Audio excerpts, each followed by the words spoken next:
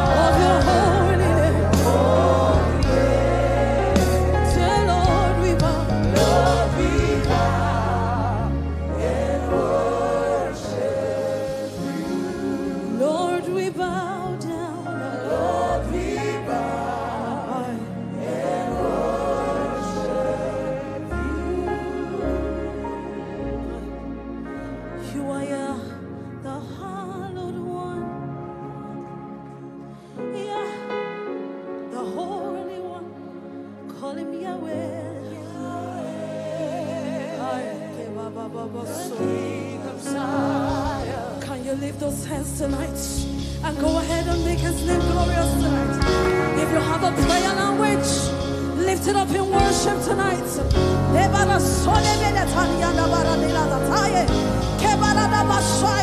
Can you lose yourself in worship tonight? To the one who rides on the clouds. He reigns and set his glory above the heavens. He rose in the affairs of men. Hey, he makes the cloud his chariot. We worship you, the one who rides on the clouds. By his name, Yahweh. Generation after generation. Yeah. Keep raising. Lift it up tonight. Yes, Lord.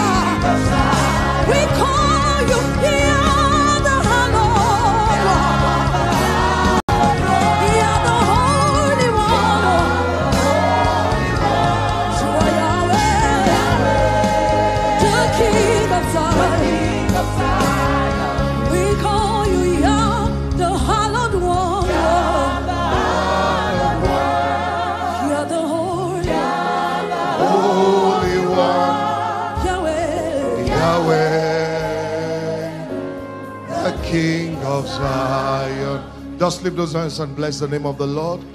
Just open your mouth and worship Him. Give Him all the praise due His name. Just thank Him. Thank Him for the revelations you have received. Thank Him for the direction. Thank Him for the wisdom. Thank Him for the great impartations. Just bless His name.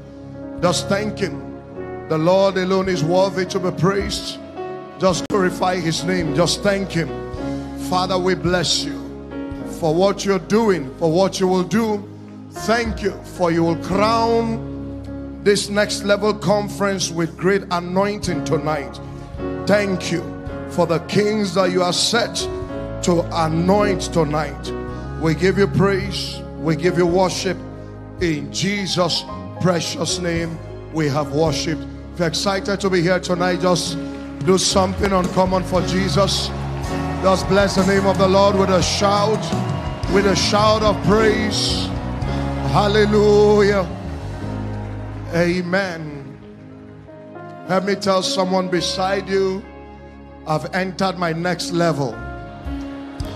Tell the person, come along with me so I don't leave you behind. Tell the person the train is moving so fast and I hope you catch up quickly.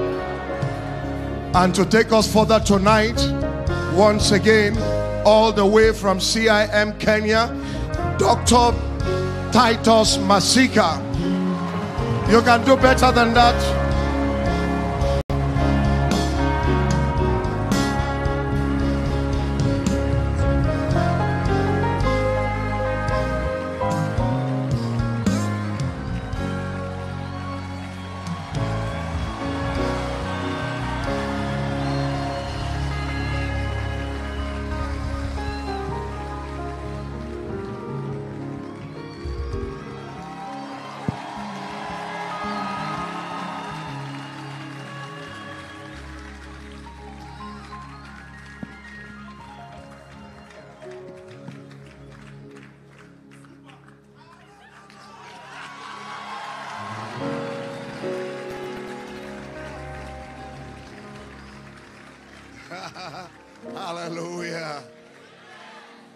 The Lord. We are moving.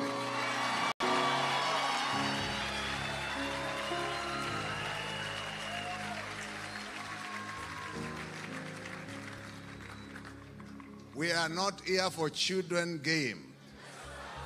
We are moving to the next level. Hallelujah. Hey!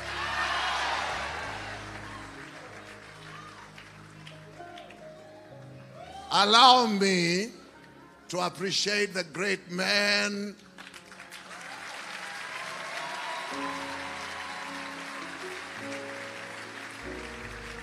around there there are men apostles from uh, ghana niger and the pastors of this great ministry.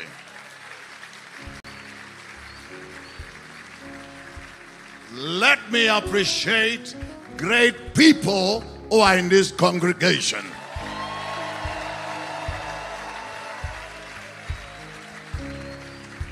Allow me to appreciate the mother of my children.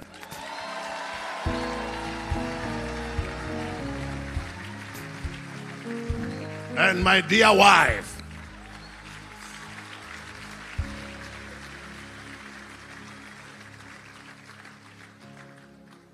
Can we be seated?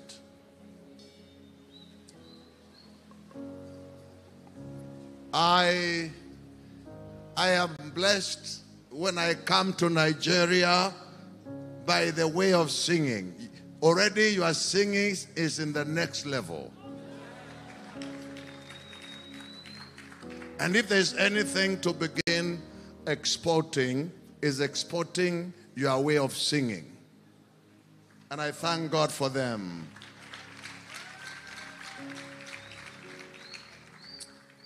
Thank you. I, I want to share a few things and trust God for an infusion. infusion. Um, when I look at you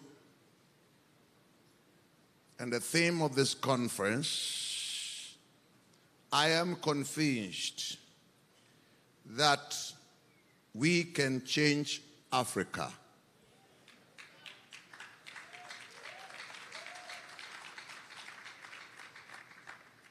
And we can change Africa in the shortest time. And so I'll share some hints that I think now can help us take over Africa for Jesus and established his kingdom. When Jesus came, he began to say, The kingdom of God is at hand. In other words, it's with him. And when he left, we were left with religion, church, denomination. And uh, that's the problem. But uh, Dominion City have come to bring kingdom.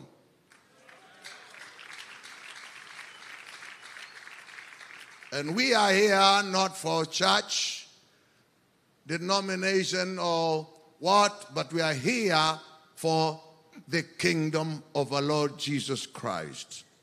And so I want to, to share the next level now. Get, get set on your marks. And I want us to read the book of Luke. Uh, Luke chapter 19 and verse, um, verse 13. Luke 13, uh, King James, King James. Now bring King James. Uh, and he called his ten servants and delivered them ten pounds and said to them, Occupy till I come. Can everybody say, Occupy? Underline and write it as our watchword. That's going to be our watchword today. Occupy. Ha. Ha.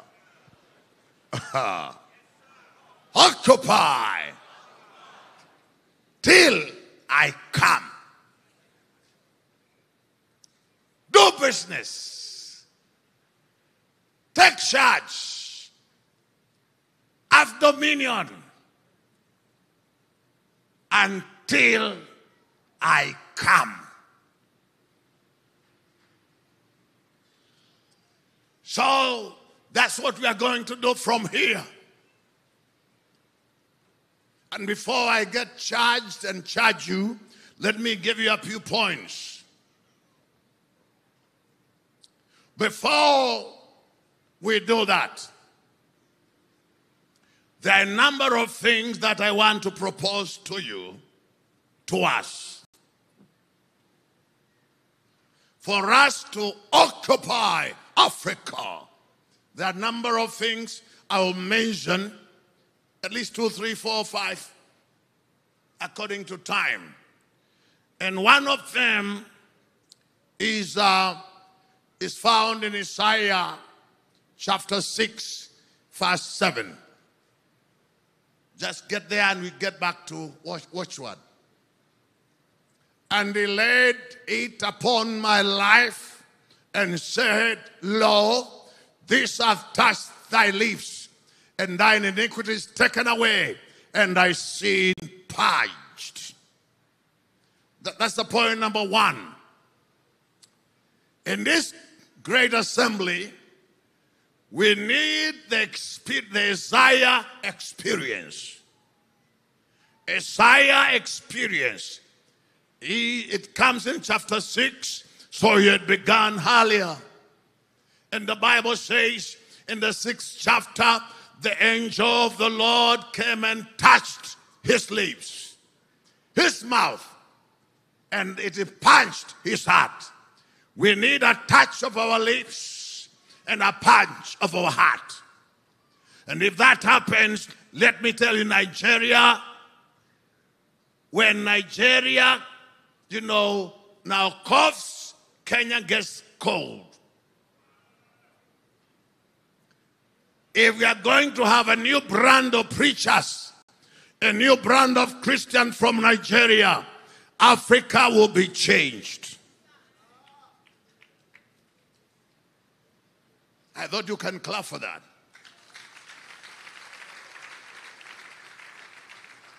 There are some people who have come out of this country and have messed up other countries. But there are many who are doing wonders all over Africa. But we must come and sack those guys. We must replace them in Jesus' name. We need women and men full of the Holy Ghost, washed of the blood by the blood of Jesus. People who love God and hate the devil. People who are punched in their heart. They are clean, they have a new heart. If we do that and export that all over Africa, we're going to have a new beginning in, the, in Africa.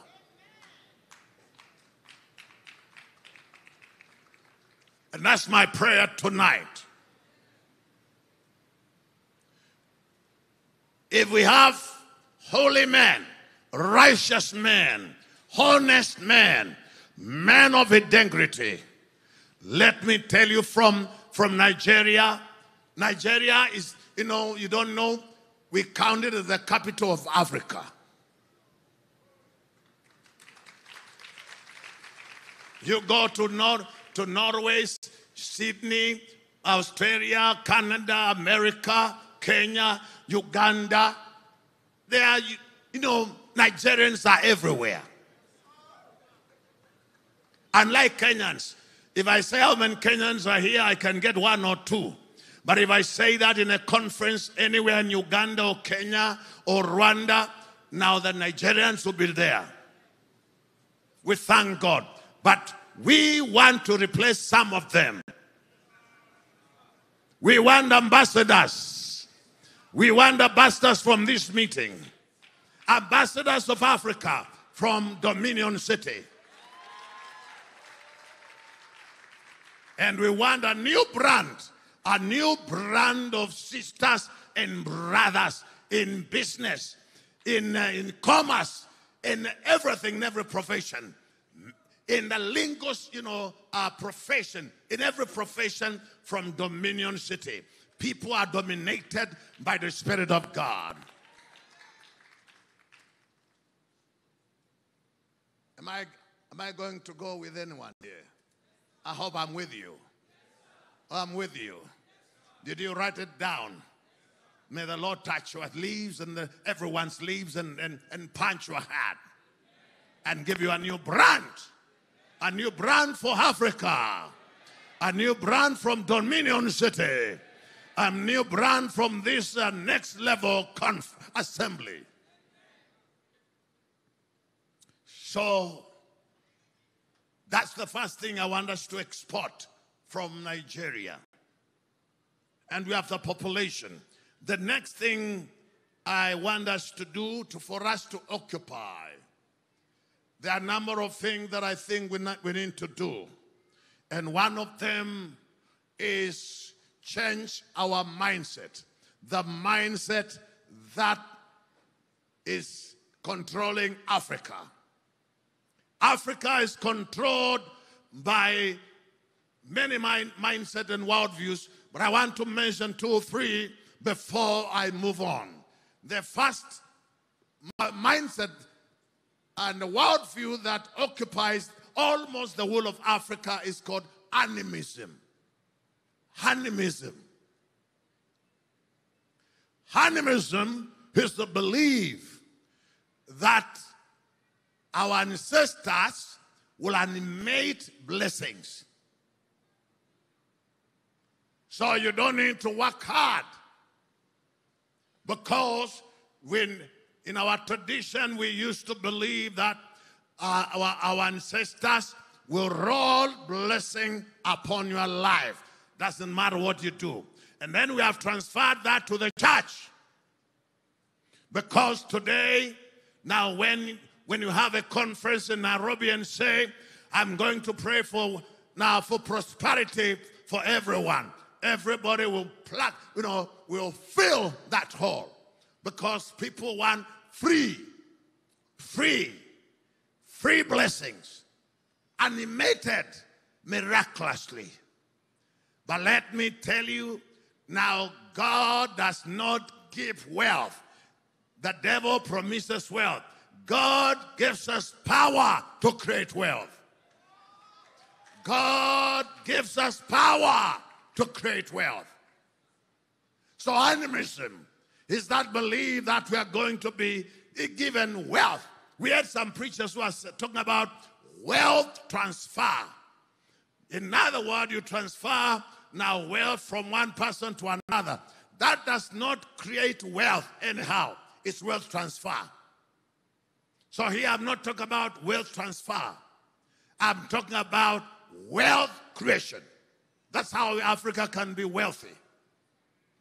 In animism, we believe in wealth transfer, and that is in the second element of uh, that mindset that, you know, witches can transfer somebody's star to another one. And that's why we want preachers to come and transfer some wealth, I don't know from where, and then they're, they're branded to you. But I am saying we are not for that brand of faith. We have a brand of faith that we know by believing in God, He'll give us power to create wealth. It is us to, to create wealth. Recently, uh, we were going for a mission, and one sister began to was praying very loud. It was full of the Holy Spirit, and he started sending, telling God, "God, we are sending you in a, in, a, in, a, in a place called Nyeri. We are sending you to the mountain. We are sending you to go and say, people." I opened my eyes. I said, "Oh God, I'm not a part of that prayer. I don't have capacity to send God. God sends you. God sends us." We don't want to go, we want to intercede. Let me tell you, in the session, we need to pray that God gives us power to do. Not God to do. The last time God was busy giving people now what in, was before in, from Egypt to Jordan. They were given manna. And after Jordan, manna ceased. And I'm not sure manna is coming again in Africa. And because of that, I have begun a program saying Operation Relief Out because we have enough resources in Africa.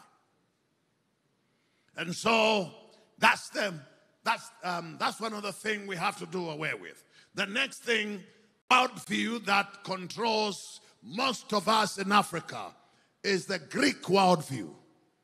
The Greek worldview is um, that kind of belief that now believes in now um, the Greek worldview believes in education, in philosophy, um, in uh, professionalism, in the white collar jobs, um, and so, and that's the one that is ruling us because we went to our universities. Now we now and we have we have engineers here who cannot make a road. We have engineers who can't make a machine, machine here. Yes. We have to depend on China. And yet we have engineers who are seated here. And if they make road, it starts dilapidation the next two years. Because to them, they don't want to do that kind of work. They want to be managers, white collar job people. That's the Greek worldview. And so, for me to be a great preacher, you must say, I am Dr. Doctor. Mm, Dr. Masika. Uh, so when you are told I'm Dr. Masika, you think I can deliver. It is not by letters, but by the Spirit of God. Hallelujah. You can have, that is Greek worldview. You can have letters and deliver nothing. Huh? You can, have, you can be a professor. Huh? We used to have a professor who used to read notes. He has been a professor for the last 20 years and he cannot remember what he taught the other class. Read us notes. He doesn't know anything. He's a Greek world view mindset. We need people who are innovators. Innovators, not consumers of knowledge. So the Greek worldview is about knowledge, acquiring, acquiring even skills, acquiring, acquiring profession. Mhm. That's the world, the Greek worldview. And then you are very happy. I'm professor, doctor. Hmm. Another fellow said, I am doctor, doctor. For example, I have two doctors. So you want to be called doctor, doctor. Nonsense. We want to know what have you done with what you know. So we must change our mindset from the Greek worldview, which is occupying almost three quarters of us, including myself. But I began to rebel, as I told you, in standard four, standard six. And then uh, 25 years ago, I rebelled again. I left the teaching profession because I can't hear anything which is, which is limiting us. I want something that is exploding, something that is exploring, something that is innovative and creative. That is about kingdom. And so uh, that's about the Greek uh, now worldview. Then, which is the alternative? The next alternative is the Hebrew worldview. The Hebrew worldview. The Hebrew worldview is about doing, doing, innovation, application of technology, improvement of innovation, Mhm. continuous research for continuous innovation and improvement of the previous technology. When the ambassador of Israel visited my sender some years back, he was so fascinated and, and um, he told me, Bishop, I want, I'm going, the only punishment I can give you is to send you to Israel. And he sent me to Israel for two months. And I was moving from one university, from one place to another. And uh, one of the professors there, now he told us, now what they do, they go and buy now ammunition from Russia, they improve them, and they sell them 10 times what they bought them. That's why they are they are first world. They have no minerals, they have nothing, but they have a world worldview which is empowering. Did you hear what I've said? Empowering worldview. The other ones are disempowering worldviews.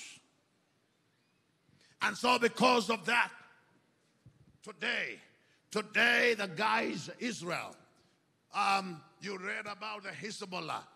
Now, they detonated their, their, their, their, their mobile phones and they became bombs when they are miles and kilometers away because they have learned all the technologies and now they have mastered them. Okay, and now they they are now controlling. And let me tell you, they're having the best technology, the best innovation in IT because of their worldview. From standard one, standard a standard six, you know, pupil from Hebrew, you know, worldview is better than a Form six fellow in Africa because of the worldview. We need to change our worldview from the Greek worldview to the Hebrew worldview. How many are with me? In the book of Acts, chapter 1, verse 1. Now, um, the writer begins to say, Oh, you Theophilus, I am, I am presenting to you what Jesus became to do and teach, not to teach and do. If it was a, a Greek now writer I would have said, I am presenting to you what Jesus began to teach. Because to the Hebrew, teaching does not matter. What matters is what you do when you are taught. And so I'm, that's why I, uh, that's the, the theory and the worldview that I adapted in my life. And you know, in, in my sin, if you read and in my name, um, and, and again under Christian Impact you will see there are many innovations. Of course, some have Eden there. Now, a number of people have come um, to borrow the technologies and our curriculum, and uh, and I give them. And uh, one of the, one of my friends from one of the regional offices in one of the organization is also here. I don't want to mention. He came and told me, Bishop, the people are coming from the global office are thieves and robbers. They want to steal your model, which they did, of course, and they're not going to acknowledge you. I said, I don't care. Even if they do, now I am going to, you know, within a year, I will have changed the model to something else. So they'll come again. And another year, I will change again. I'll improve it so they'll come again. So they'll be coming every year. And I'll be selling the model to them. Because I've adapted the Hebrew worldview. So I don't care when people come, you know, them, the designers of their models and their program. I give them, university, I give them, because I know these guys have, are full of Greek worldview. So after that, they'll go and they use it. And some of them, I don't give them the password. I give them the model and I remain with the password. So that if they joke, I can pocket everything. Yes, that is what it's about. We call wisdom. Yes. Can I hear the word wisdom? wisdom. Ah, yeah, yeah, yeah. Thank you. this is good. Now, now about um, that's that's about the worldview. We are because we are not in class. We want to go quickly to the action. Now, the, the, the third thing, if not uh, if not the fourth, I think the third thing we need to change African identity. African identity, because the way we are designed, we cannot help ourselves and we cannot help. We need to develop what I called yesterday Christian hmm, identity. Christian, African Christian identity. African Christian identity. Because today, the whole of Africa is under, um, is in crisis we have identity crisis.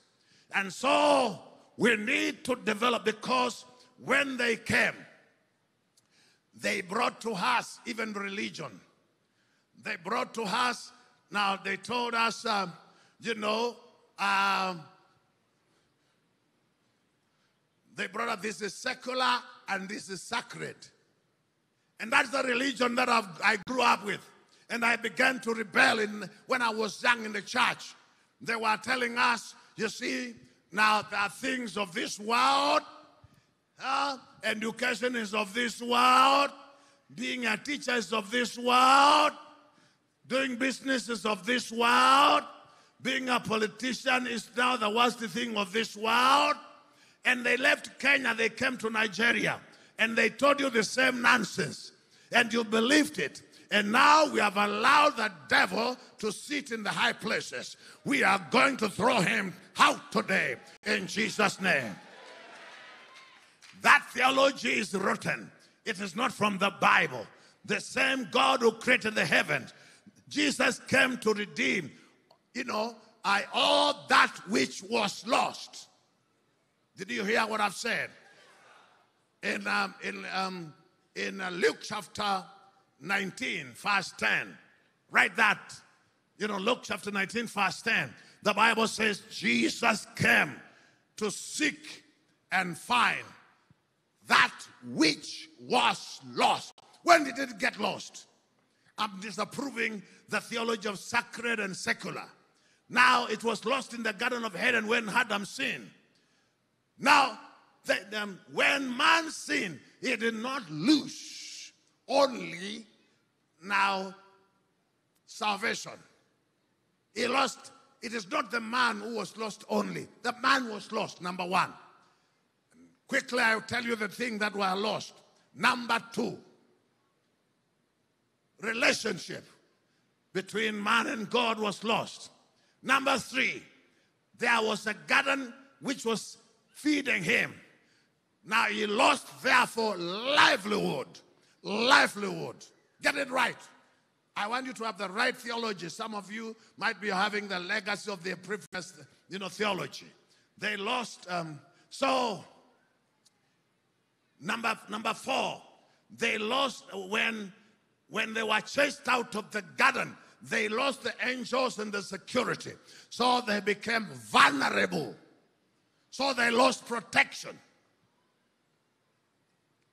and that's we inherited what was lost and, uh, and so on. We, Jesus, God used to come in the evening for fellowship. So we also lost fellowship with God, relationship with God, and so on and so on and so on.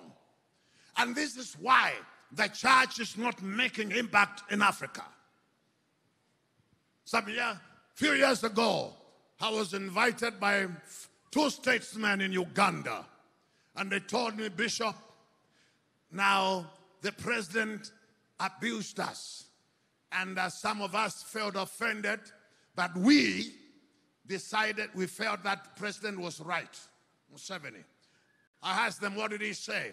He told us that uh, the church in Uganda is making a lot of noise. And uh, he cannot sleep. A lot of music, a lot of whatever. And his wife and his, his daughter is a, is a pastor. And so now he told them he thought when they sing and they pray, there will be new factories. He thought when they sing and they pray, there will be new industries. They'll come up with new universities, new innovations. He thought they'll come up with now new technologies. But he realized they are singing, and after singing, there's nothing that is happening. And the Bible tells me when they prayed, the place where they were praying, it shook. Can you do like something like that? So when you pray, hmm, when you then there were people who are called Quakers. Listen to me quickly before my time runs out. The Quakers, when they quaked, they came out with a first bank, Barclays Bank, after one of their leaders, Quakers. When they quaked, they produced William Wilberforce, who went and changed the legislation in parliament. Can you do like this? When they quaked, they came up with the first railway line. Do like this. When they quaked, now they came up with the new medical now discoveries when they quaked. Yes. So when you pray, what happens? When we pray, what happens?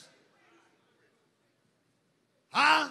And we are here praying and crying. And look, we look like we are very godly. But let me tell you, prayer is an empowerment process. Prayer is not an end in itself. Prayer is a process of empowerment for you to do. It is not an end in itself. And that's why we went wrong. That's why I'm saying in Africa, we need African Christian identity. And so, one of the things that I think we need to, we need, when, because we don't have identity. Now, all of us, when the minister, now, when the, the minister of agriculture, uh, he is there to go and see how he can do import, you know, foodstuffs to Nigeria to feed Nigeria. And this is the minister of, you know, agriculture. When now the minister of health is sick, he has to go to London for medical checkup. And yet he's the minister of health. The minister of education will take his children to Oxford and to America. And yet is the minister of education. Nonsense. That is the product of lack of African identity. And let me tell you, we are going to make Nigeria better. We are going to make Africa better. Hallelujah.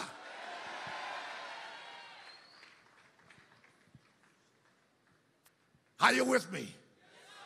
Do you see where we went wrong? All of us, we are lost. All of us, we are lost. This is unbelievable. Huh? The Minister of Technology and IT is ministering nothing. There is no technology that has been created.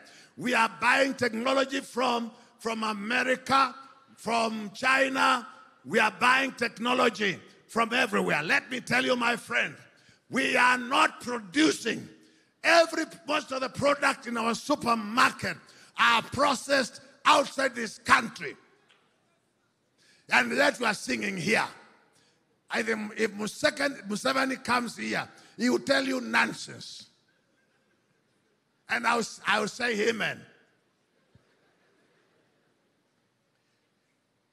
Instead, now yesterday, Professor Vincent, who is in Uganda, thank God he's there and he knows the two statesmen. We are working together there, Dr. Magara and, uh, and, uh, and, um, and um, Jumba. These are great men. And he has joined them there. They are friends. We are friends, all of us. And a, a few of us, we have to change Africa. And you have to join the, the band. You have to join the band. We have to change Africa. And we have to write a new identity for Africa.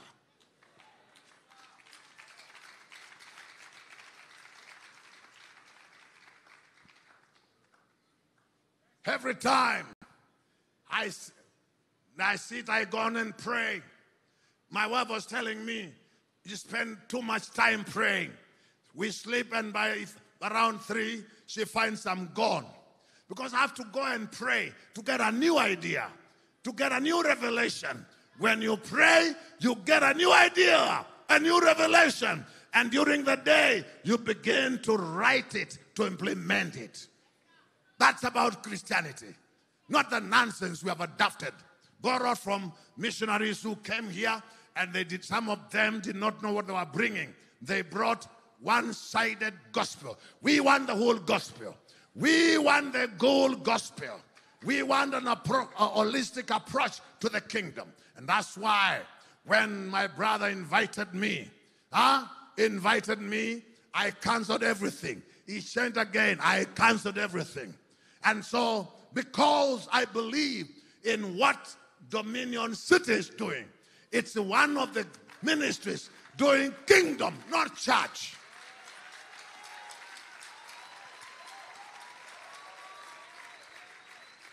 I want, there's a clip that I, I want to show you. Uh, we have begun to transform the region. Before I come to the last bit of my message, um, I'm sure you have gotten a point, eh? Okay? So if we pray now, you have a point, eh? I like when we pray, you have a point. Not some. Okay? Where's the clip I thought somebody was given? Yes, sir. Make it loud for a while. Welcome to this inspiring journey into the heart of Machakos County, Kenya, where the Christian Impact Mission, CIM, is transforming lives through its biblically empowered worldview model and approach. We apply the biblical principles in agriculture, biblical principles in every aspect of life for mindset change. If we use the Abraham principle, which is when Abraham settled in Beersheba, the first thing he did was to look for water. Yatta is only, only dry. When you change the mind, then the other will be wet. If Karamojong is wet and the minds are dry, even the land will be dry.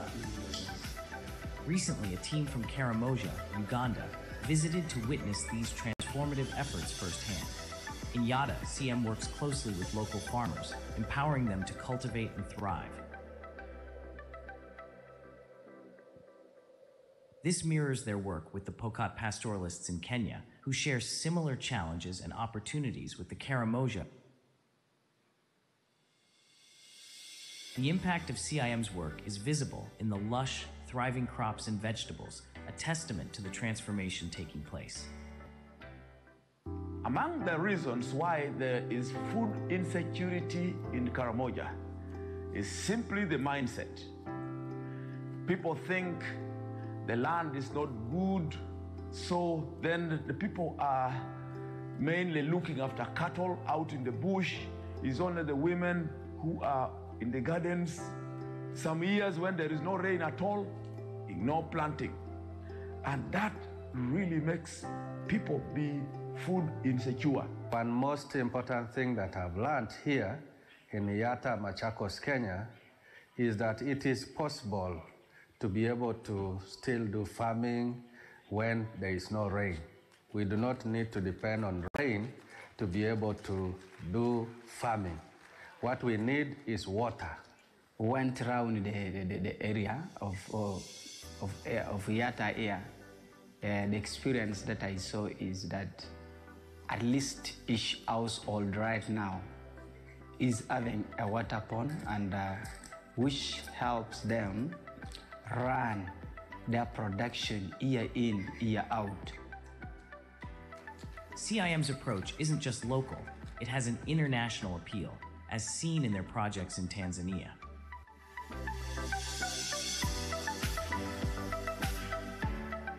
Bishop Masika has been a great inspiration for us here in Tanzania. Um, I think primarily because he goes right to the heart of dealing with the mindset issue that keeps people trapped in poverty. It's all about breaking dependency on government, on world vision, that thinking process that I don't have anything unless you give it to me. And with Bishop Masika and his ministry, we've been able to bring people to Yatta. They've been able to see in an arid environment that it's possible to do farming and do farming very productively so that very poor people can actually be accessing markets as far away as Europe. CIM's biblically empowered worldview is more than a model, it's a movement. A movement worth replicating for community transformation across the globe. In our strategy, um, we think about two things two main things. One is modeling, and the other one is mentorship. Modeling is where we believe that every community, for us to uh, see success, we have to come to a place where we uh, identify the people with potential. Most times we find people working in our communities look at the people who are most needy. But in our strategy, we look at the people with most potential because it is them who will serve as models within those communities. Once we have people who have changed that we can see, change that we can identify with, others who emulate. We had two, three now villages that began, and using those villages, we grew them to 12. 20, now there are over 80 villages. Now, most of the families have one, two, three, or four, five small dams, and they can do irrigation now for two years. It is very possible to now reclaim and redeem the land in Karamoja.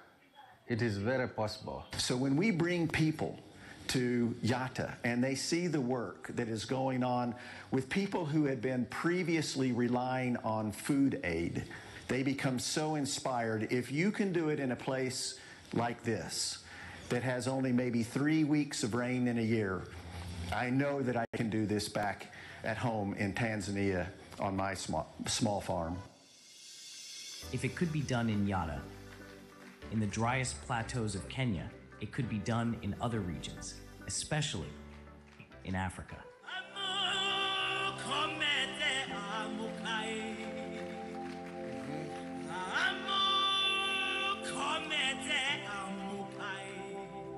Thank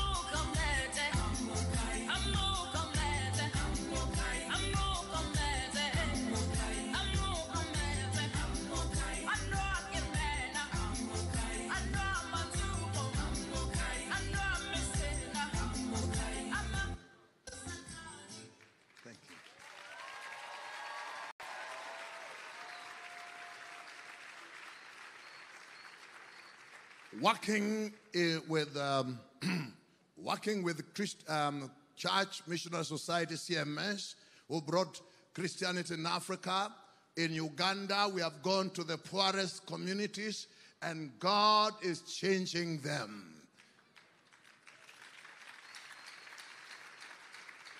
working with the Life Ministry Campus Crusade. We have gone to some communities that live in the forest called Batwa. Mhm. They were in the center, and God changing their mindset, they have gone and they are doing wonders. Changing the mindset of the Tanzanians. They became exporters, and, um, and one of the countries they are bringing food is Kenya, and now all over the world. We, we, uh, they brought one, one, one working area, they succeeded. The world donors came and saw, and they gave them money to replicate our model in the entire country of Tanzania. Who are these people? And now we have been also, we are in Rwanda. Actually, the African, the, the East African. Tomorrow, tomorrow, a team of leaders, the third group is coming from Ethiopia. It will be in our center. I'll find them there. So, CIM and myself, we are talking, we are doing what I'm talking about.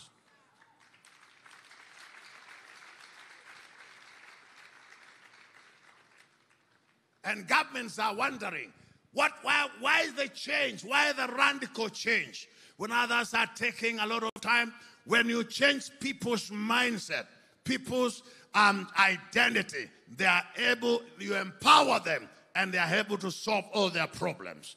We need to create innovation and the spirit of creativity and innovation, and we are going to change Africa. Right now, want, before I move to the next, I want us to export missionaries all over Africa. But this time, not missionaries to go and set up just a church uh, in an estate and people come and dance there and sing there. Now we have enough of that. From the from Dominion City, we want kingdom. You go and establish a kingdom in a city.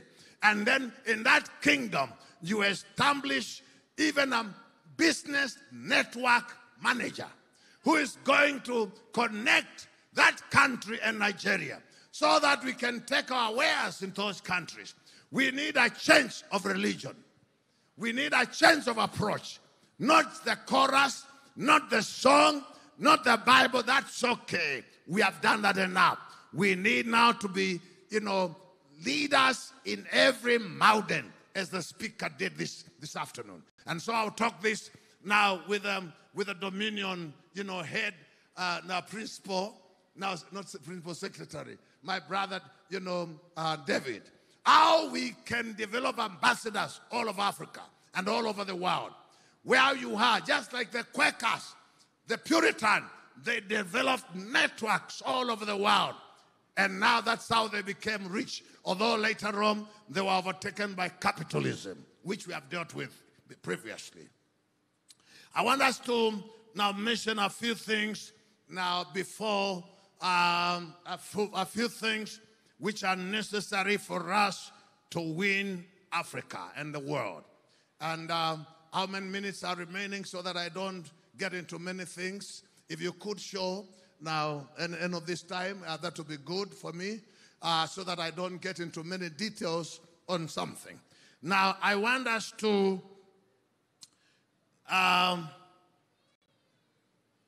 before I get there, I, I was saying when we develop our, our identity, these are the indicators. These are the indicators of an African, African Christian identity. New African Christian identity. Number one is to develop self esteem. Self esteem. Self worth. So that we don't need to believe anything in Nigeria is inferior. So we have to buy something from London, from Britain, from America, from China. Nonsense. Huh? That's why I looked for this dress, which I got from Nigeria. And I'm going to look for more. Thank you. I don't want this Muzungu thing. Huh? We have cotton. We are supposed to make all types of materials in Africa and sell across Africa. Why should we import what we have? So, and we don't need to go to hospital or whatever. We need Dominion City, quality hospital. Dominion City, quality high school, quality university. A university with a, with a difference. University that is applying knowledge, applying skills, applying technology. That will be a unique university. Not the one of equipping people with ideas and concepts and giving them letters to read. We need to give people letters to do.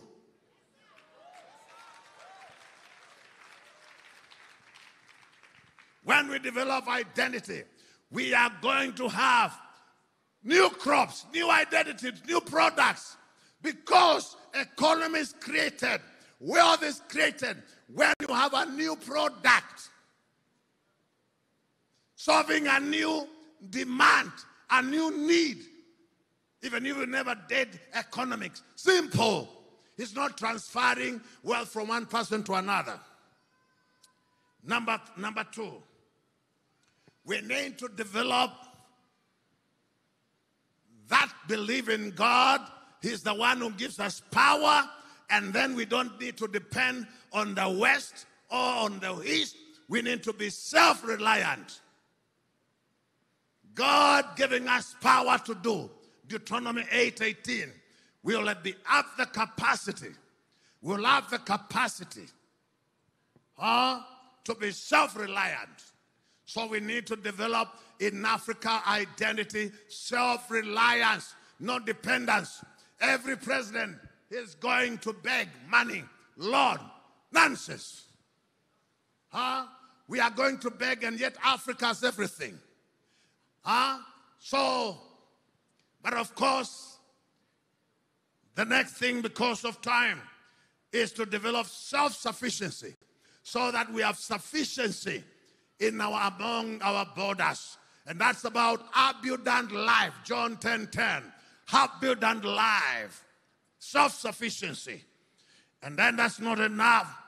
We need to develop mechanism, system of self sustaining, self propelling. We don't need to depend on anyone. Why our universities? Why our ministers? Why are we going to school? So we need also to develop resilience. And the Bible says in John, in, in, in, in, John now chapter 8, verse 36, when God sets you free, you are free and free indeed. We must be free from any mindset, any worldview that undermines our capability and our ability in Africa. Now, now we can go to, to the next one. The next one I want to bring on board indispensable quality. I was supposed to have tackled yesterday, and uh, it's called hard work. Hard work. Now, why we are poor in Africa, we want white collar jobs because in our mindset, we don't want to work. We want these things brought to us.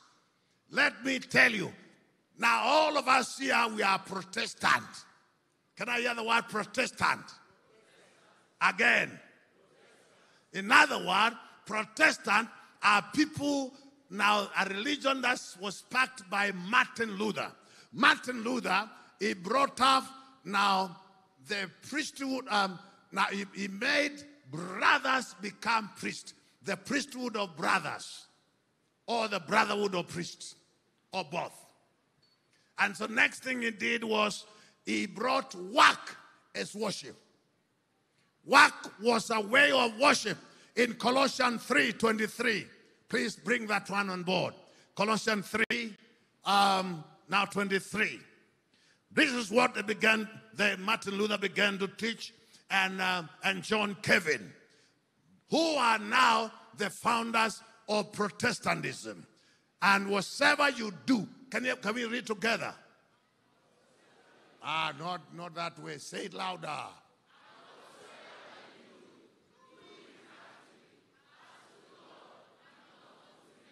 Amen. Another version.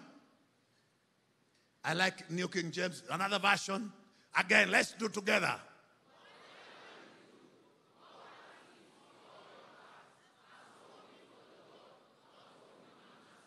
Yes.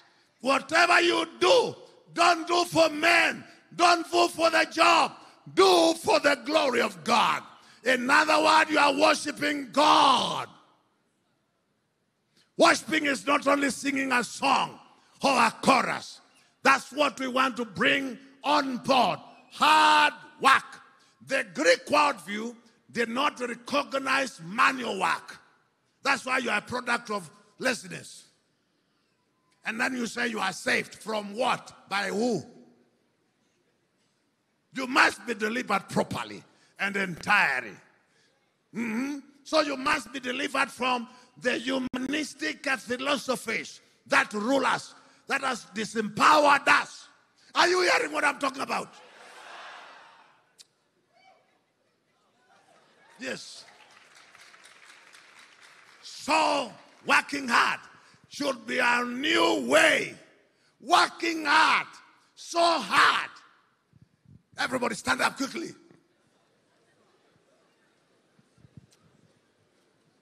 Now, I want you to do like this. Look at me. Look serious. We are not playing games here. I'm not I'm not a child. Do like this. Now you are working hard. Stretch it. Ah. Stretch it. Stretch it. Ah.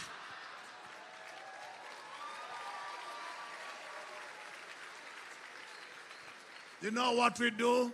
We do like this. And that's all. From today, we want to develop a culture.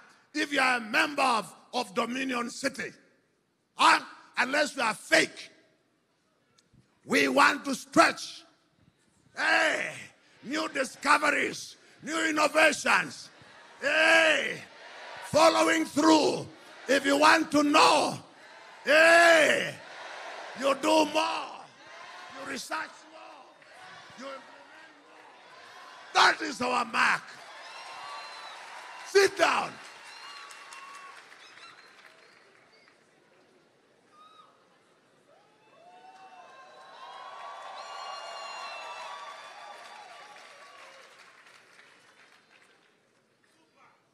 Super.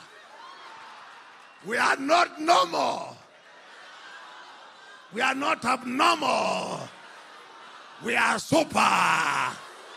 Hey!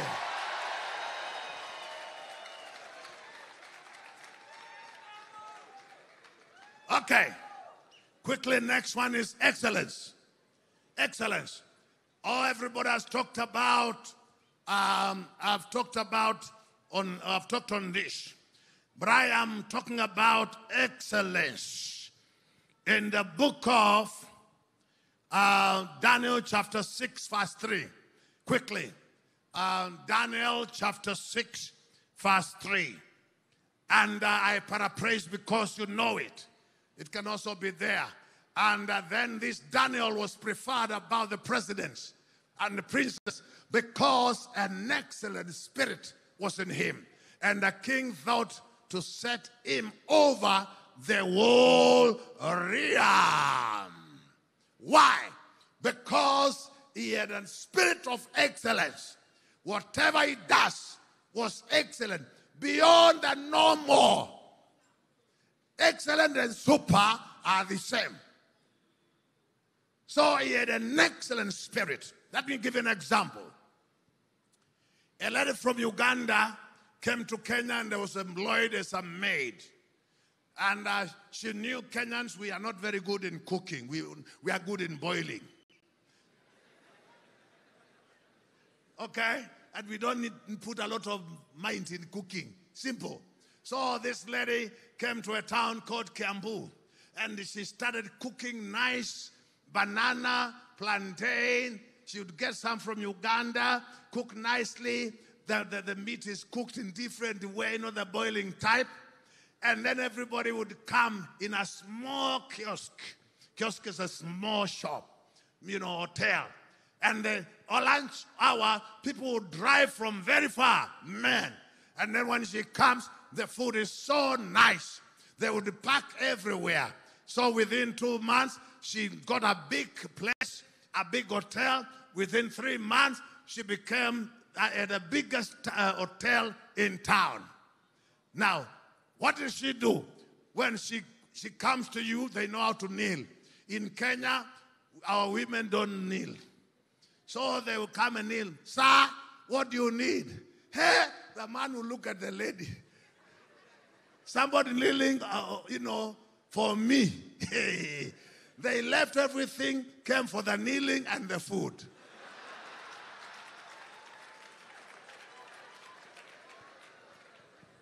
Because, thank you, because of competitive advantage, she has become a millionaire within a year. Excellence. Excellence. Excellence gives you competitive advantage. You don't compete with a common man. And so I'm not going to read the other things because of time. Now, wisdom was said then the final one is diligence. Diligence. The final one is diligence. Now that we read it in um, now Proverbs 22, 29, you can put it there, but we are not going to read. If you are diligent, you are going to eat with the kings. You are going to stand before kings, not sit. Stand. In other words, you'll be addressing them. I have seen that. Um, I don't want to play my trumpet. I have seen it works. If you, are compet- you have competitive advantage, yes. And I want you to stand again before you stand again. Quickly. Now, diligence, I want to, I, I, I want to explain and demonstrate diligence. Now, diligence has six stages. Stage number one put your hand like this and then down like this. It is called pray through. Again. Louder. Okay, number two. When you pray through, you get an idea. I'm sure you're going to remember, oh, or they're going to write it there for you. Don't worry so that you can demonstrate because if you write, you can forget. But if I teach you, you never forget. Number two, you plan through.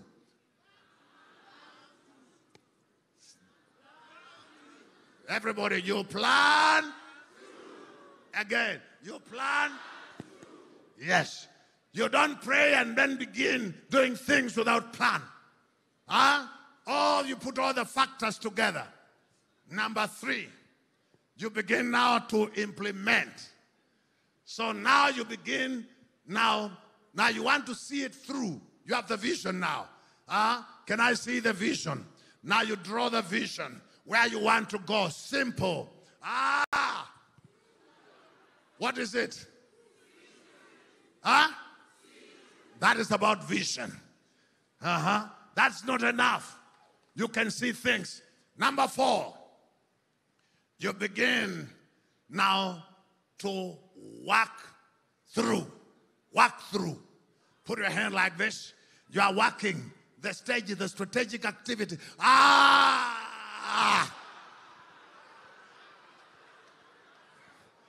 Number. Now you begin to walk through. Okay, walk through. You are now walking through the stages to ensure they're well done.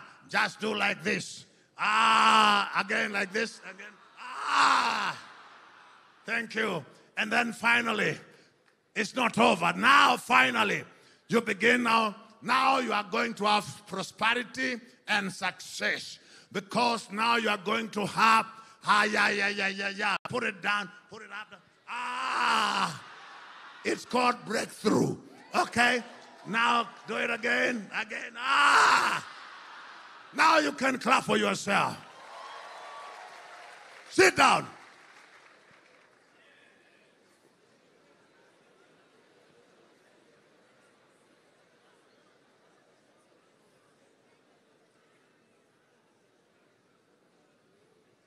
Now listen to me.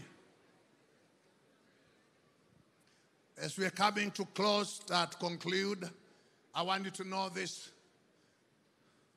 We are not going to be secular. Holistic is driven by the spiritual. Did you get that? We are driven by the biblical worldview. Biblical worldview is the one that empowers us. The Bible is our power, is our source. We learn the biblical principles, as I told you yesterday. Yes, we pray, we fast, but when we fast, we got to do. And then, then you must, when we, and the preacher this uh, morning, now he talked about when whatever business you are doing, you want to do, whatever enterprise you want to do, there it is, you are not going to enter a, a plain slate. There are powers, spirits, kingdom that rule. Then you are supposed to have the spiritual dimension, which I told you yesterday. That is going to open doors for you. Not all the time, pray for me, pray for me. We want empowered Christians. Yes, where you can go and open. You are an ambassador. Hey, you are not normal. Yes. And finally, and you must be spiritual. We are not going to take businesses to Kenya, to Ghana, to, to Egypt, to wherever. We are going to take kingdom. And Jesus said this words so that I can combine the spiritual, which we always emphasize. This, I, I found these wonderful words in Matthew chapter 10, verse 8. Read that quickly, uh, bring that quickly to the screen. Jesus told them, huh? Jesus told the disciples, You are going to be disciples, and um, I'm, I'm, I'm bringing the men of God, and we are going, we are going to, um, to establish and crown priests in the marketplace. Okay? So today we're having ordination without uniform. Okay? And he's going to talk about that. But you see, Jesus told them, heal the sick. Put your hand like that. Heal the sick. So when you go doing your business, when you find people, heal the sick. Number two, cleanse the lepers.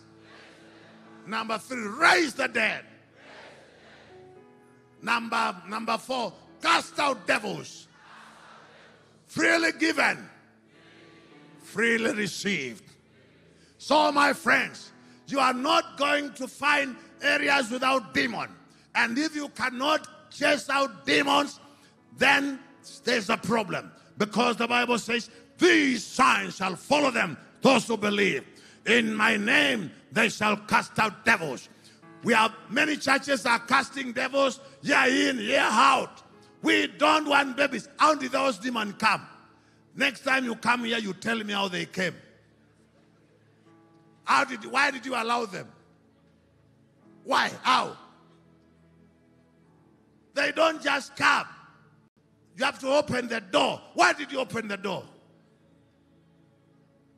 Huh? We are not going to open doors and you're an ambassador. You must be dignified, solidified. Yes, dignified, solidified. Everywhere you go. Thank you. Um, Bishop, uh, I extended your time by 15 minutes. You're Ah. not finished. Thank you. Thank you. You know, I know he does that all the time. Thank you. Hey! Hallelujah!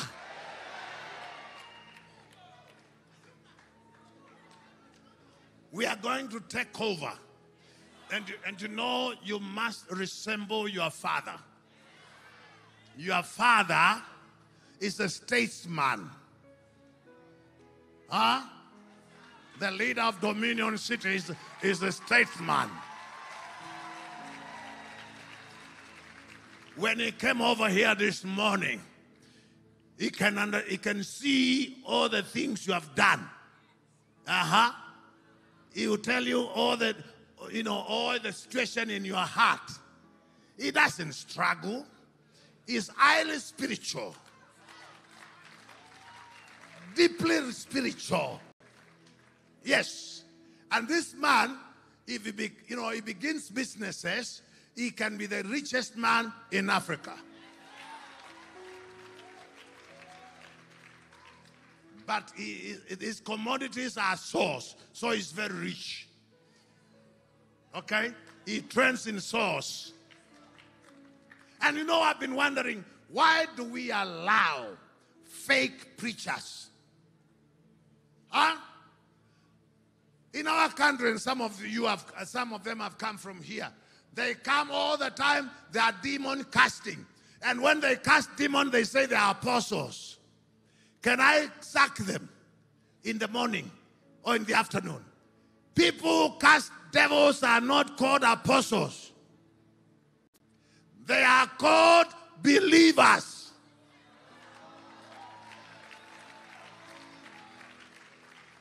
Open for me Mark, Mark 16, verse 17. And I'll show you people who cast out devils are not called apostles. Apostles are like, you know, our, our brother, I can't mention the, the, the surname because it is a G and B and we pronounce each one of them. So I call him David, no, not because I, I demean him. In Africa, in our place, we don't call people by the Christian name. You use the surname. But anyway, you allow me to call David because the other one is Ogbuel.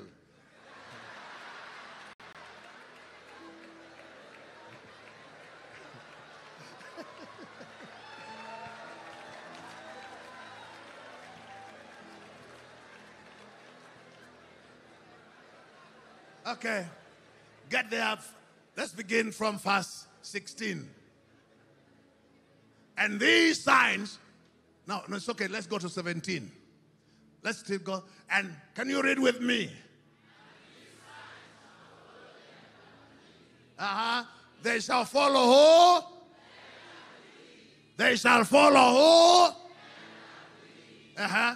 And then when you, you are a believer, these are the indicators. If we are casting demons on you and you have been saved for the last five years, then you are fake. Okay? They shall do number one. Louder. Again. Not be cast devils, but cast out devils. Next. Ah, yeah, yeah, yeah. Not French, not English, not Spanish. You shall speak in other tongues where the devil might not understand. Shanda. Thunder. Mm-hmm. And then next, move on. They shall. Uh, uh, yes, then uh, again. And if they drink any deadly thing, it shall not hurt them. All the witches in Nigeria, all their charms are invalid before a believer. Yes. Yes. If anybody try to bewitch you, poison you, it will be useless because you are a believer. You are insured, insured and insured and assured. Ayah. Next thing, what will be the believers do? And then, yes, stand. Hey, what shall they do? Who are, and then, yes, let me tell you, my friends, I see people praying and they pray as if God is, uh, is, is not hearing. Huh? Many times, I just say a word Because I'm a believer. Receive your healing in Jesus' name. I met a bishop the other day, and I told me, Bishop, you came to um, the hospital, and I was diagnosed with cancer some 40 years ago, and uh, they'd said I will not leave for two months. And when you came, I went to the hospital because he used to support our ministry. He was a teacher, so I went to him, and I, he told me, you know, he was crying. I said, I, I'm not going to pray. I told him, young man, stand up, rise up, and go home. I have discharged you. I have discharged you. And the gentleman went to the to the um, to the registry office. They said I've been discharged. By who? I was not a doctor that time. By by by by Masika. Hey. And he said, No, you cannot be discharged. We have to wait. He said, I'm going home. And the guy went home. The guy got healed. 40 years later, we met in a conference with my wife. He was sitting next. He told me I got healed and I walked out of that hospital. I've never had any cancer after today. I did not pray for him. I said a word. Why? Because I'm a believer. Two months ago, a lady called me and told me in 1980, you prayed for me, I was sick, and I got healed. Later on, I got an opportunity to go to America. But I, I've been looking for your number. I've been looking for your number because I got healed. And then somebody gave her the number. She called me, sent some offering. And of course, I was not after it anyway. Are you hearing, my friend? Yes. What did I do? I found her in a conference. I said a word, and God healed her. Why? Not because I'm a prophet. I'm, a, I'm, I'm I am an apostle. I was a believer. We want to see people. Uh huh. Are you hearing? Yeah, a lady, when we were working out, came to us and she said, You know, she told Mama, Can you pray for me? I won't say many things. And then I said a word. She started now, you know, from her head, power came, you know, over. I did not even have time to pray because soldiers are around from the gate. I don't want uh, David to come and find that I'm praying, you know, when I'm finished preaching. You know, because I'm a believer. Hey! We want to get people. So from here, when you go home, are you hearing? Cast out devils. Cast out devils. Can I hear that word? Where is it? Cast out devils. Heal the sick. Yes. Raise up the dead. Oh, it is there. We are not there. We are in the other one. Yes. Now, not these signs, the other one. Matthew, Matthew, Matthew, the Matthew, yes. Chapter 10, verse 7. Yes. The one where we read before. You have forgotten. 10. Verse 8. Yes, verse 8. Heal the sick, everybody. Tell your friend, heal the sick. Why? Because you are a believer. Number two, cleanse the lepers. Raise the dead. Cast out devils. Freely you have received, freely give. Lift, give an hand, clap to Jesus.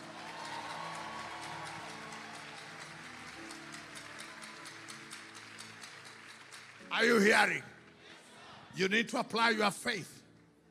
I apply my faith in healing, in business, in science, everything. Because the Holy Spirit is all round. Huh? Are you hearing? But that God uses some principles. The other day, I was praying. I had a big mission. I mentioned that in the first day. A big mission, and I had a very big budget. And I was praying. The people had promised, partners, they all backed out. Others could not respond. And I don't like, you know, following people. I'm not a beggar. And so I said nonsense. And um, I almost felt like I went to pray to God. Why, God, should I be left alone? Ah, these are my people. I was almost like talking like Moses. Ah, these are my people. Why should I be left alone? Then the money that I'd received, I took it to another ministry, senior ministry, and I gave all of it three days before the big mission, covering our entire area. Let me tell and I believe to God because I know how God works. If you want to be blessed, plant in others. If it is money, you have to plant money. There are seeds of every kind. So I planted and I went home. Now people now started calling. I'm going, I'm. you had talked about the vehicle. I'm giving my vehicles. I'm giving whatever. I'm paying accommodation. I am giving this for whatever. Let me tell you, the budget that we had was surpassed and we're surplus.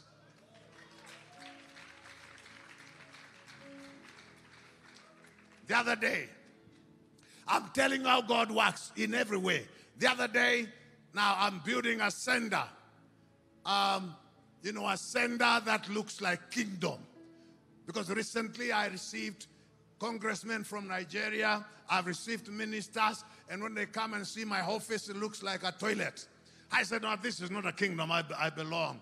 Although I, you know, I don't believe in whatever, but it's good I must look like a kingdom. And then I started building a building worth millions, dollars, big one. And then uh, by, by the, this year, I found I didn't have money to continue. It was coming little, little. I said, nonsense.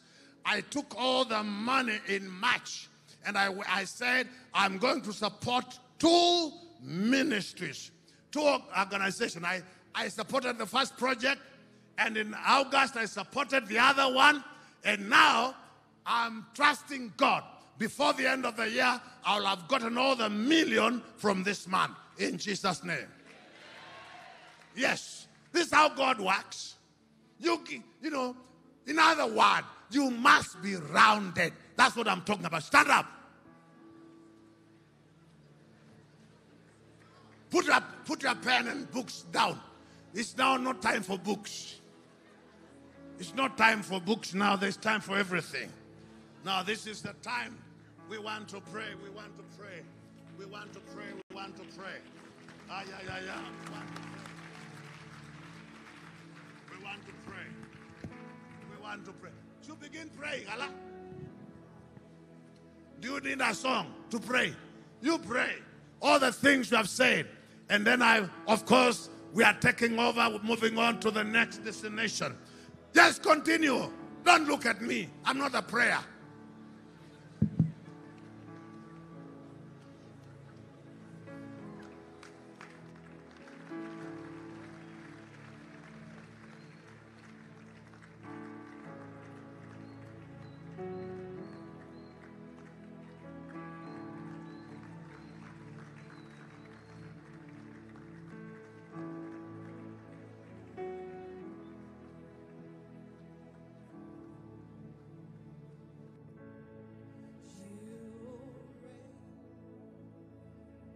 Minister two, two songs just before we move on.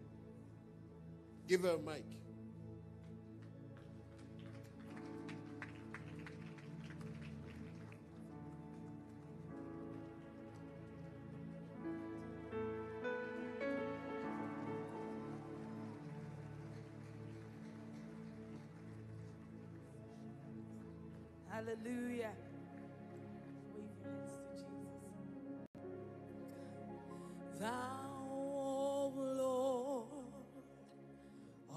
Shield for me. You are my glory and the lifter of my head. For thou, O Lord, are the shield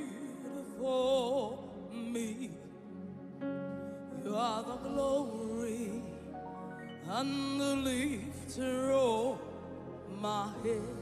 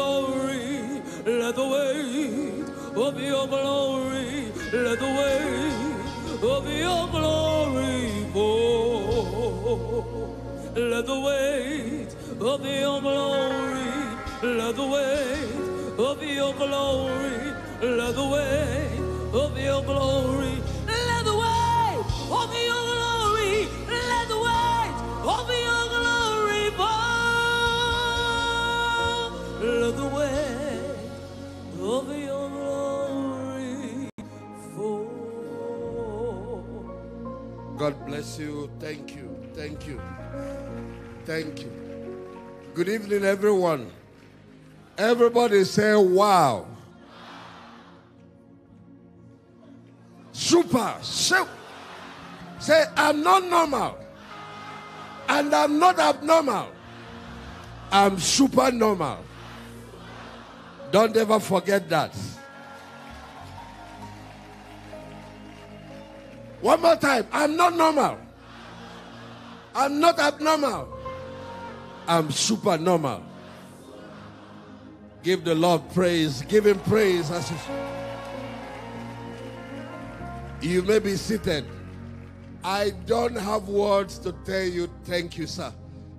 Join me to say thank you and thank you and thank you again.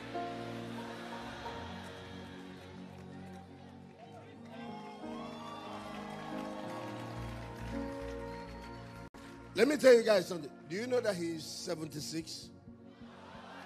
Does he look it? It looks like he's in his 50s. You see what he was telling you about Mama? That she is grandmother. Does she look it? She doesn't. When you are on purpose, God will be renewing your engine. You look like you are just in your 50s.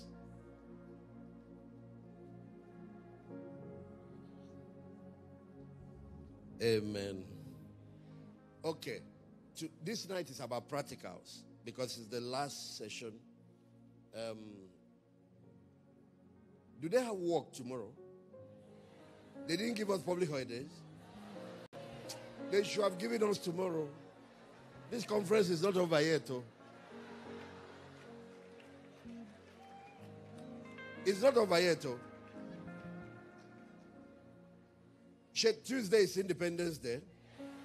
Uh-huh. Pastor Shola will tell us, I'm going to do one more session, but they are all practical before we leave. Some of my team flew out to South Africa this evening. I can I can come late a little. Let me have that day with you guys because it's not it's not finished. It, the whole thing now is about deployment. Everyone said deployment. Okay, so the team is the Kingdom Church. Let me give you. Can I get 12 guys? And only one will be wearing white. So I'm going to give you f- some five practicals now. Only one person will be wearing white. Only one. No, you come from a circle. Form a circle. Hold your hand round. Form a circle. The man that is wearing white, you'll be in the middle, not in the circle. Join your hands and form a circle. So the man inside, count them and know if they are complete. If they're up to 12 around you. So with the person inside, you will be 13. Are you complete? Now, it's called the G12 model. G means government. Everyone say kingdom. Say government. So this is the vision of God, and this strategy you can deploy. It's called the G12 strategy. Anywhere to begin to take any institution, any sphere, any area. When God wanted to start the human family, do you know how many people he used to lay the foundation? 12 people. Go back to your Bible in Genesis and count from Adam to Noah. 12. When God wanted to build the nation of Israel, go and check how many patriarchs he used to do it 12. All the time it was Abraham, he couldn't get that nation until he got the 12 patriarchs. When God wanted to start the church, go and check how many apostles he used to do it 12. Now, when he gets 12, which is the foundation, it's called divine government because we're discussing kingdom now. It's called divine government. How God implements his government. So, what you're going to do here is where you live here, you will be the one man, the white man in the middle. You find 12 people around you. And this team is to take education. This team is to take start a movement in government. This team is to take the, the entertainment industry. This team is to t- find the area where God is calling you to. But don't go alone. No general goes to battle alone and come back.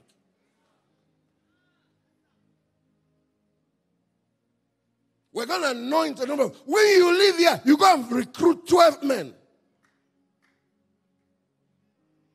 When God sits in heaven, I want you to watch divine government. So you look at it. Is that model?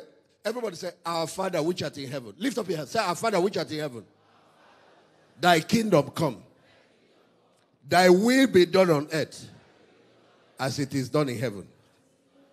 Eh, we're going to do it one more time. Our Father which art in heaven, hallowed be your name. Thy kingdom come.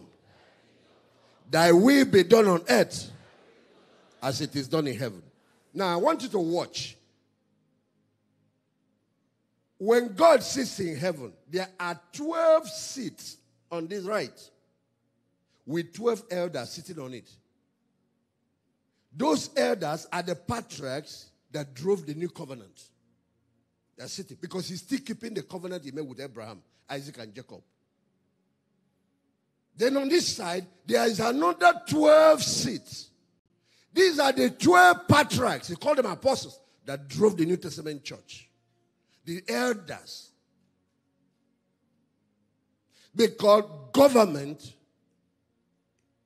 kingdom wise, is implemented on the number 12. Satan uses the number 10.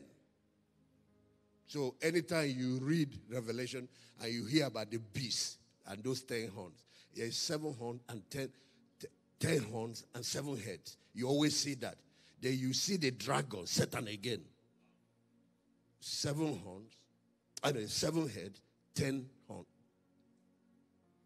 Is the structure of his government. Let me give you two examples so that you know. When Satan raised a man to use him to destroy the nation of Israel. That means that thing was Satan's structure on earth, even though he was using a human being. His name was Haman. God used Esther to take, it, take that man out. How many henchmen did Haman have? Who knows? Ten. Ten. They called it the ten sons of Haman. So when Haman was hanged, ten of them were hanged. Let's try one more time. There was another time Satan was operating at the global scene and he wanted to wipe out the Jewish people. And he raised another man called Hitler. And he said he was bringing a final solution. The Jewish nation will be wiped. He actually killed up to six million of them. How many henchmen does Hitler have? Who knows? Ten. And guess what? They also died by hanging. When the world court sat after US came into the battle and they, they, they destroyed and the Second World War ended, they sat at the court, judged them, and they went and read the judgment given to Haman and the, during Esther's time, hanging instead of electric chair, instead of fires, and they hanged them, ten henchmen again. And when the last guy was about to hang, he shouted Purim. Purim is the feast of Esther. Since that day, the Jews celebrate every year, remembering what Esther did for them. He shouted that. He said, The God of the Jews have done it again. Has repeated history. Now, when you read this bad guy that is coming, you call the Antichrist, the book of Revelation reveals that he's going to have seven heads, just like the dragon has. He's Satan incarnate and ten horns. And later, the book of Revelation reveals, he said these ten horns are ten men, powerful people that have not yet received the kingdom, but they will receive the kingdom with the beast. Now, they sent me their constitution of the new world order with which they will run this government. And you know, they broke the whole world into 10 regions. One man is going to govern Africa. Already you know about EU, that Europe is now one, and you have a leader for EU. And guess how long does that man that rule EU last? Seven years. How long did the Bible prescribe that the Antichrist will last? Seven years. Now, they have North American, they have the Middle East, they have, that's how they've grouped the whole world into 10. And there's going to be 10 men then surrounding this deadly guy that is about to emerge. All these evil things you see them plotting, working, is to finally lead the world into that place. The same way God destroyed Haman, the same way God destroyed Hitler, is the same way He's going to destroy this beast. But God's counter kingdom runs on 12. If you don't have your 12, you don't have a kingdom. If you are running on individualism, you don't understand kingdom. This is what you're going to do. Then you broke. The, when you have this structure, that man at the center is the custodian of the vision. You break down the assignment into 12 sectors and assign it to so that none of these people are competing. Each person is focusing on an area. Let's look at Israel, for example, just to give you an example. The tribe of Levi is the one in the center. They are the priests. The tribes of Israel are the ones that surround them.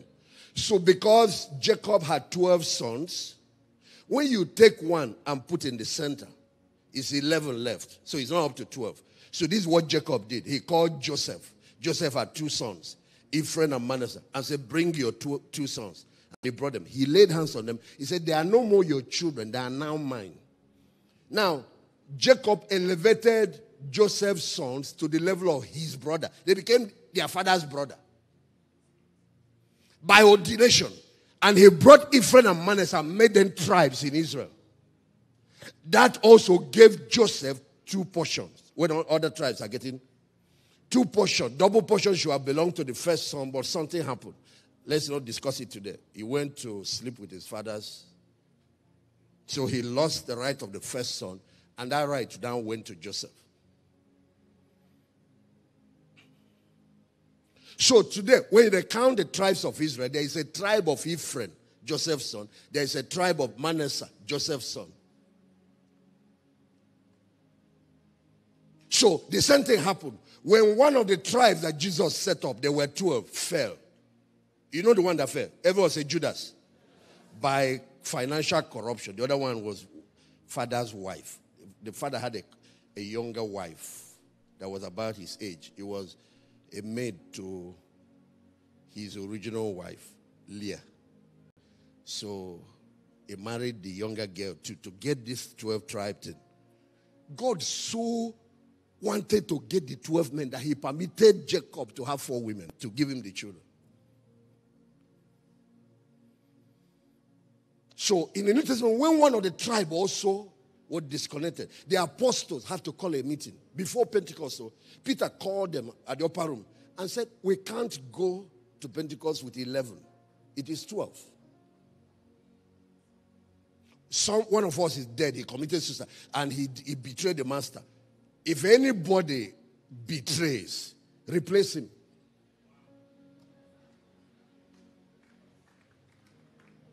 Clap. oh.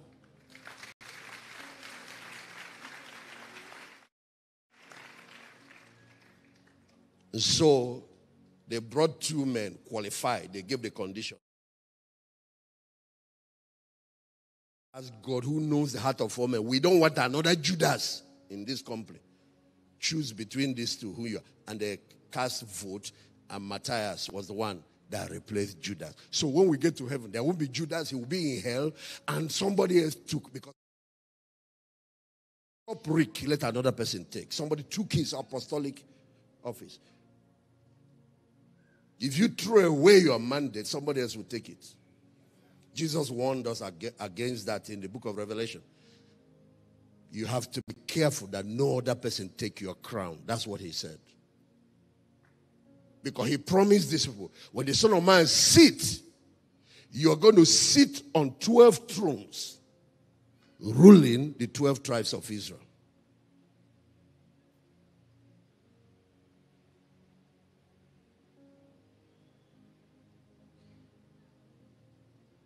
Why will Jesus sit? That is the 13th person, surrounded by 12, because that's the divine order.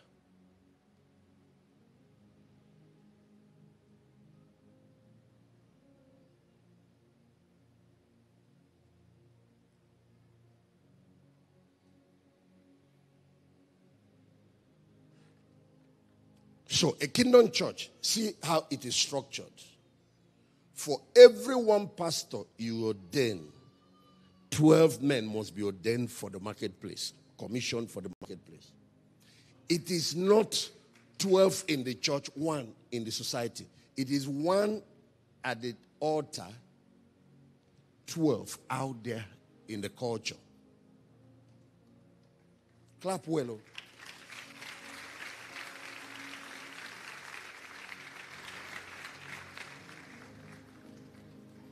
So the Levite be at the altar and be serving priest and be praying for 12 out there walking and influencing the world. What they do is that they understand walk as worship. Watch you. You just heard you just read the scripture today. Eh? They understand walk as ministry business as ministry, vocation as ministry. When you are going on Monday, you prepare like a pastor because you're going to reach people. So it is these 12 that reach far more people than that man hiding at the temple. He is not the one engaging people. It is these ones that are out there engaging people. And let me show you something about how God separated them. So that everybody has his assignment. Nobody needs to compete.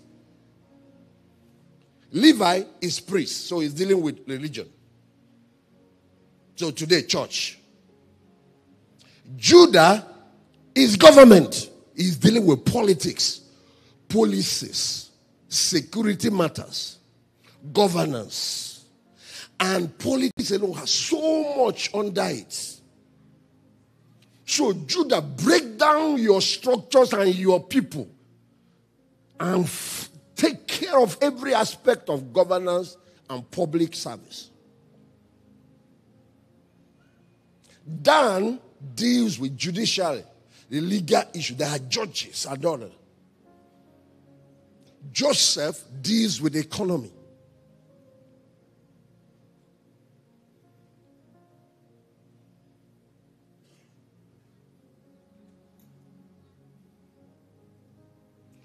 And that's from vocational skill to professional to businesses. And even businesses exist in two levels. If you go to the water, into the ocean, you see that fish exists in two levels.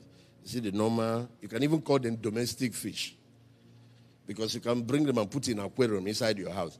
Some of you even have decoration in your parlor with water and something pumping and you see fish there. Those kind of fish you can domesticate. Because that's how the animal kingdom is. You have domestic animals, they are called cattle. There are some of them you can turn to pets, like dog and cats and so on. But in the water, you have wild animals. Those are not domestic fish, like shark. They will eat you.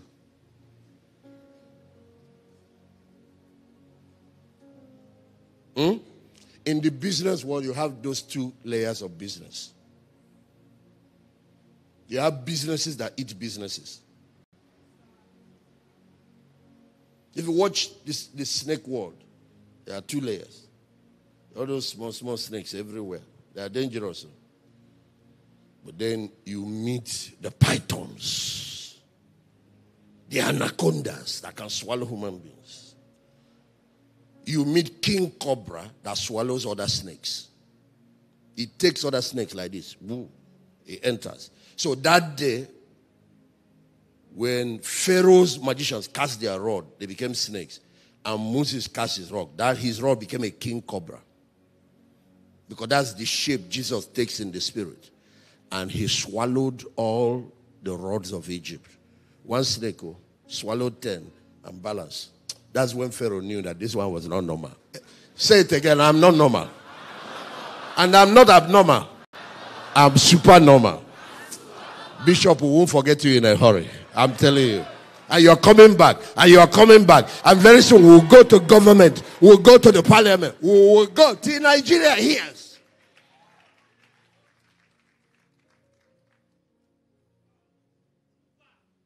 I'm super normal. Say it.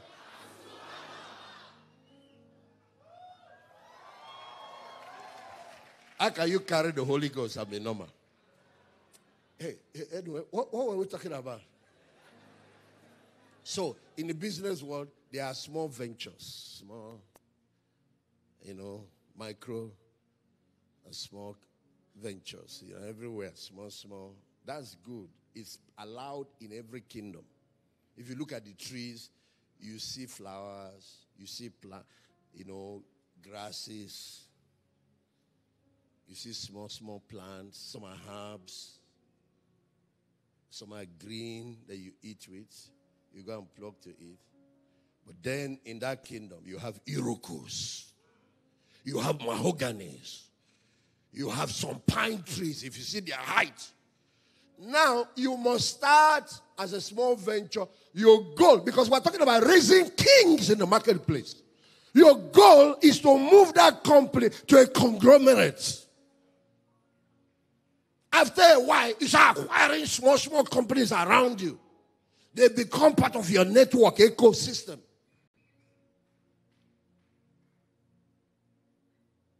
Because there's the guy is not they have one powerful innovation, but you see them, you give them a, a capital they can't refuse and acquire both the guy, the owner of the business.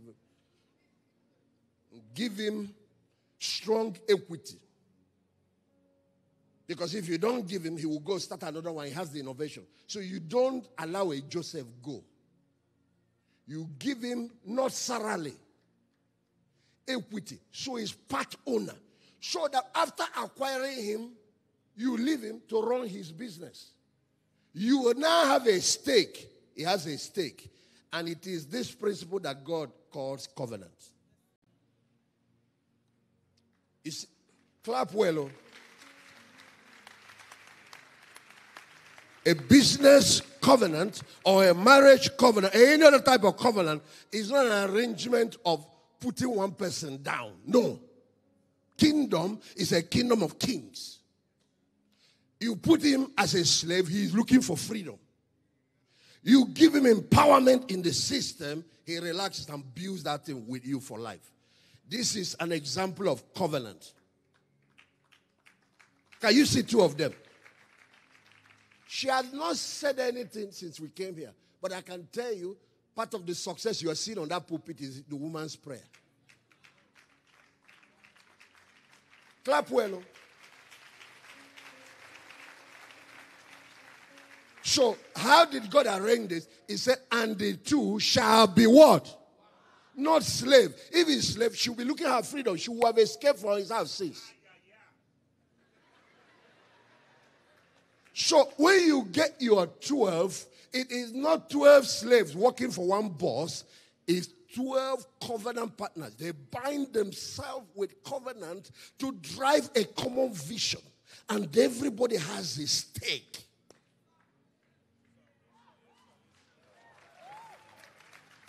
Clap, oh, clap.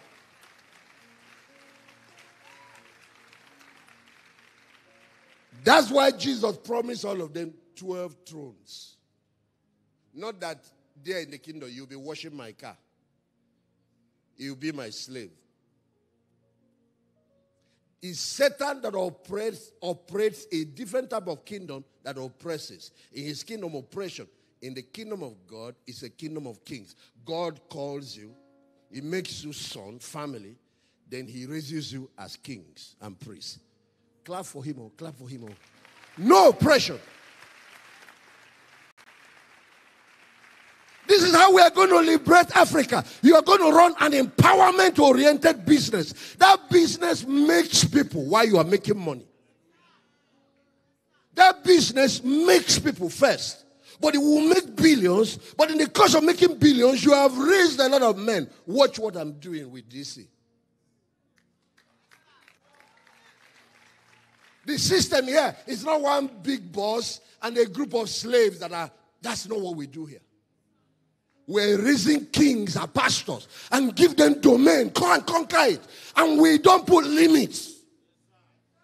If any of them is not flying, it is not us limiting him. There is no flight limit.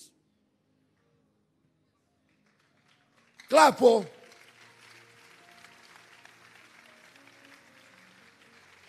I told our pastors, I'm looking forward to when we come for pastors' conference. By then, self stadium is what we use just to gather our pastors. Yeah. And all of you fly with private jet. Me, I'll come on, I'll, I'll come on bicycle. And I told them I will ride it into that place with bicycle. Yet, I'm bigger than all of you. Because it's not the jet that makes your greatness. It's how many people you raise. How many people you raise. How many people you raise. How many communities you transform. How many lives you change.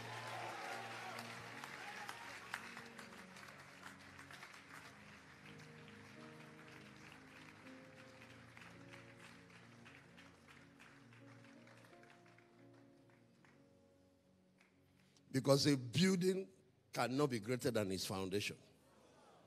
I hope you heard that proverb. You can sit down. This is the mission.